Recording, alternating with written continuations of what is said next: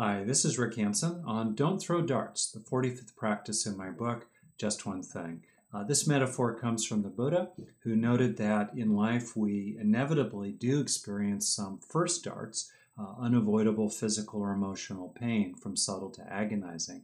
But then we often throw darts uh, with our own reactions that are second, third, fourth, fifth, and sixth darts, and these are the ones that we throw ourselves.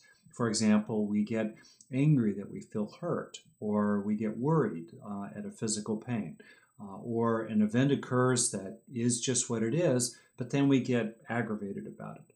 So, to deal with this, I have a particular suggestion.